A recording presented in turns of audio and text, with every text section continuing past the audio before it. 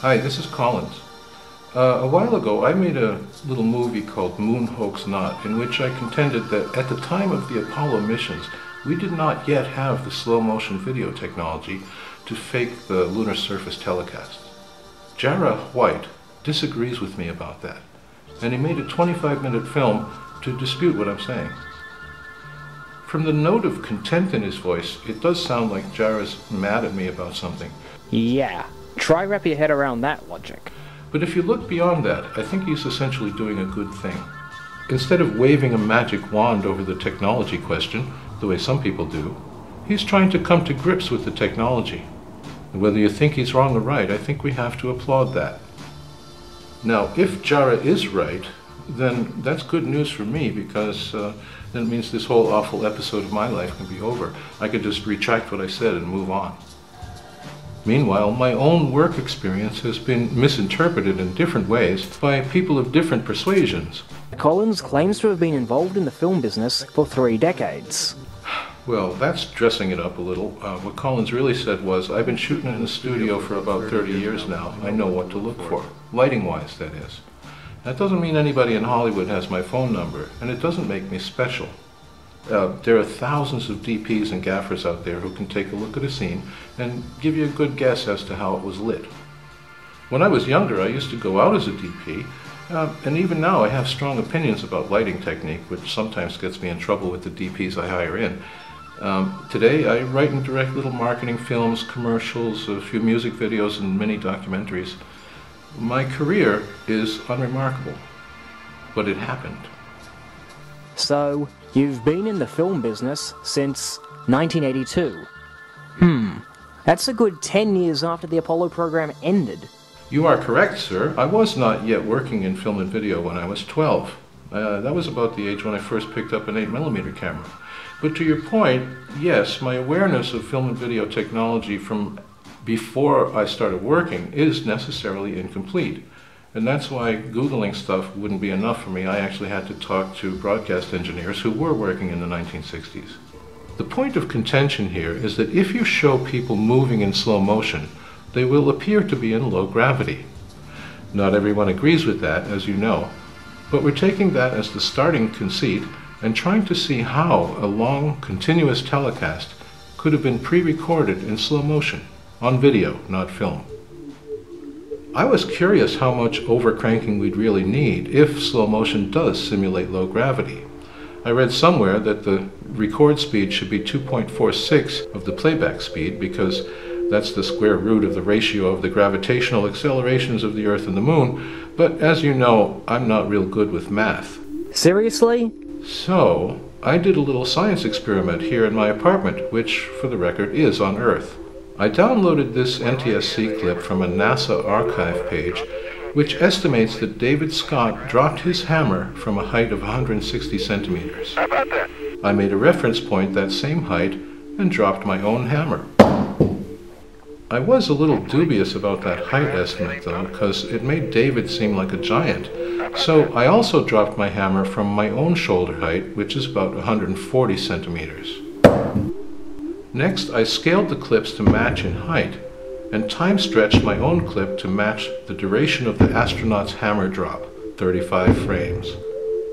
For a drop of 160 centimeters, the stretch was 220%. For 140 centimeters, it was 221%. Not much difference at all.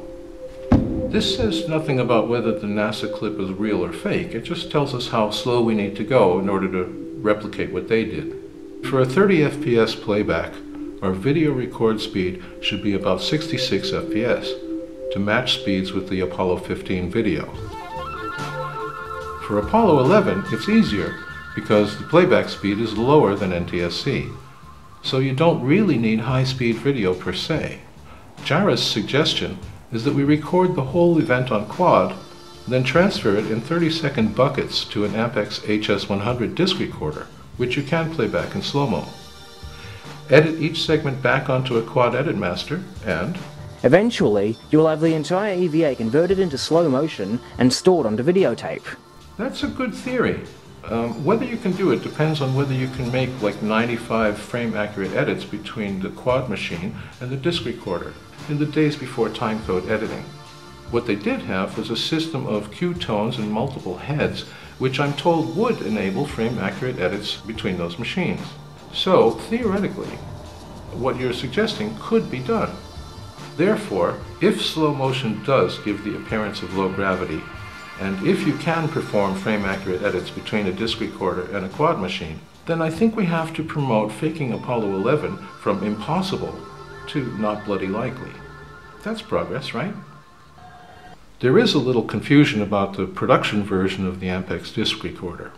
Upon further reading, I learned that the HS200 lets you handle material of any length, from short commercials to complete programs. Very interesting.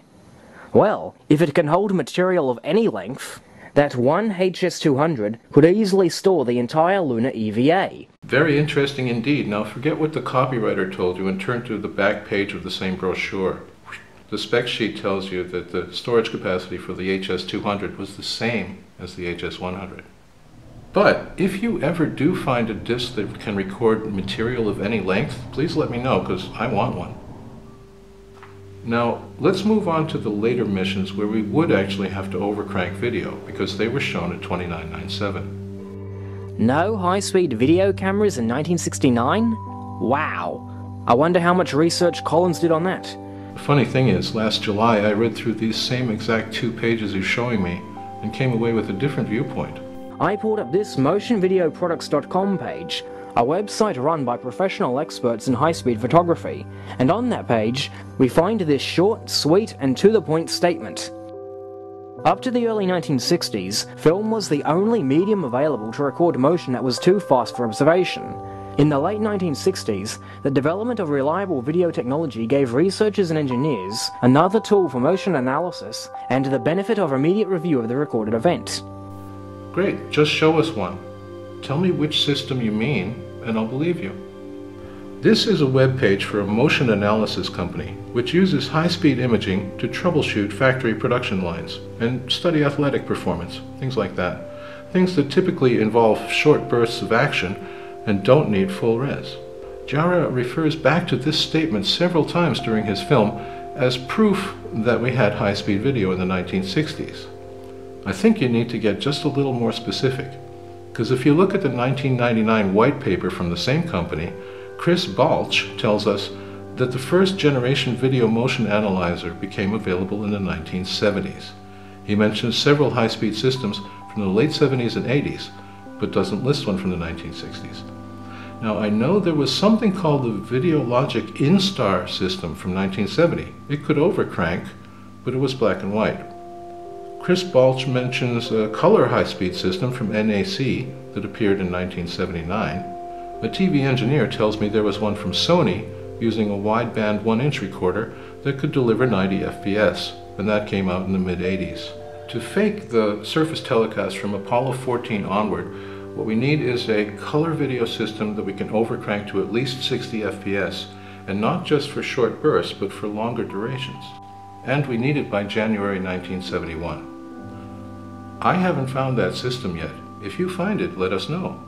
Perhaps Collins is thinking of high-speed video cameras with charge-coupled devices, or CCD chips, which didn't come out until 1982. No, Jarrah. This isn't just about the taking sensor. It's about the processing and recording system you need to do overcrank video. The CCD chip revolutionized the high-speed video camera's role in the film industry. Um, just to be clear, high-speed video cameras didn't play any role in the film industry until well after the advent of digital. But for regular video, you're right, chip cameras changed everything.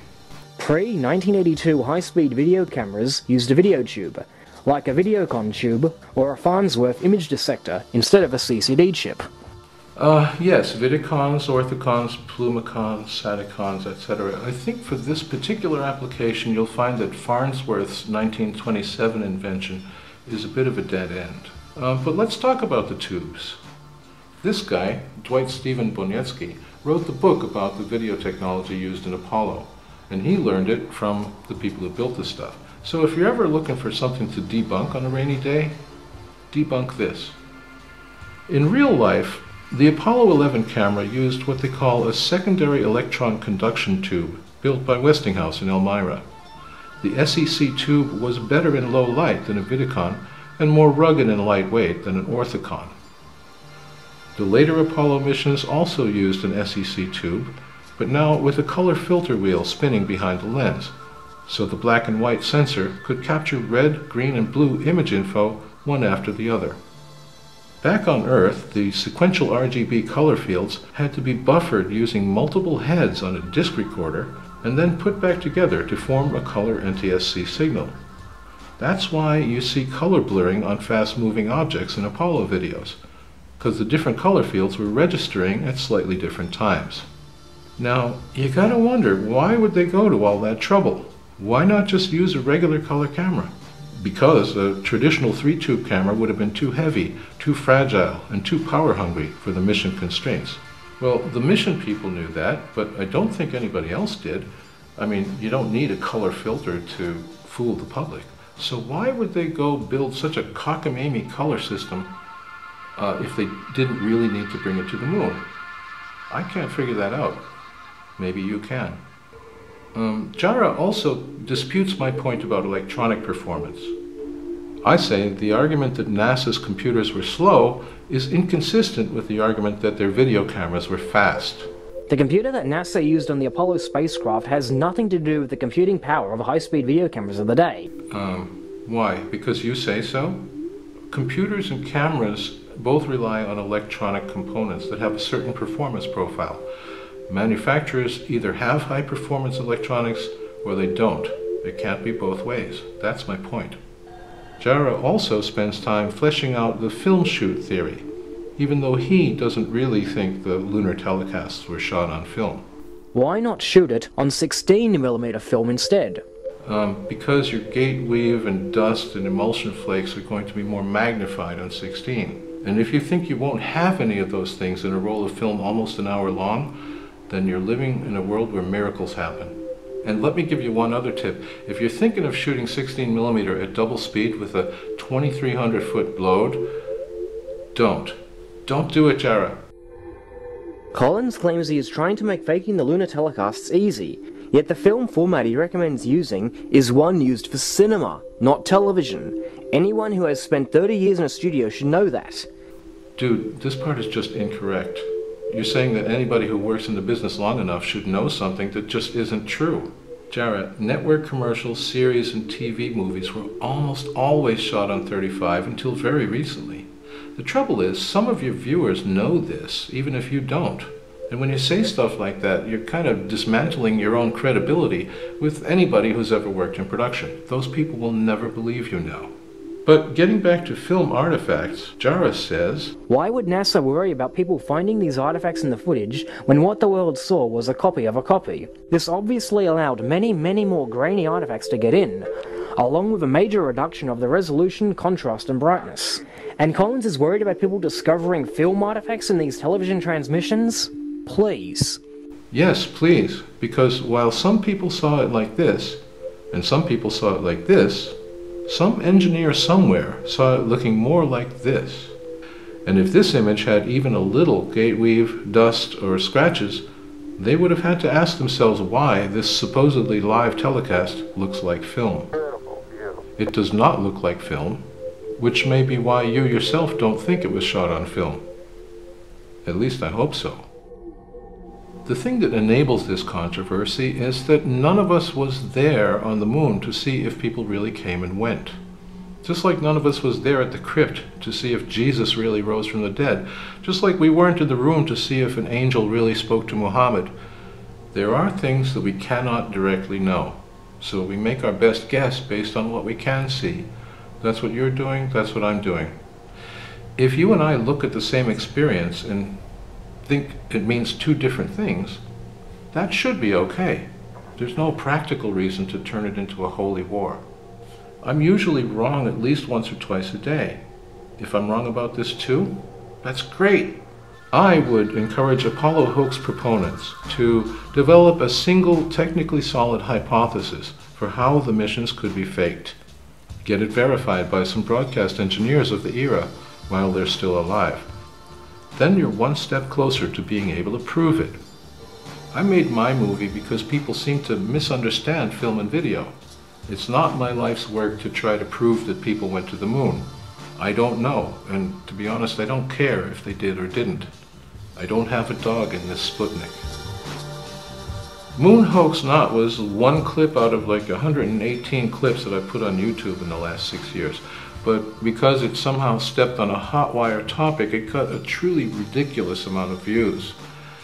So, when Jarrah says, I find it pathetic seeing so many members of the pro NASA side praise and fall blindly behind it as though it were a beacon from God. I have to agree with him. Despite that blitz of attention and the love and the hate and the links on websites I never heard of and getting mistaken for a professional skeptic and invited to a radio interview and contacted by an LA producer and tweeted by Stephen Fry and having a guy from Google come over from London urging me to monetize my channel, despite all that, I can't be Moon Hoax Guy. That's not what I do for a living. This is what I do. And if you'll excuse me, I have to get back to it.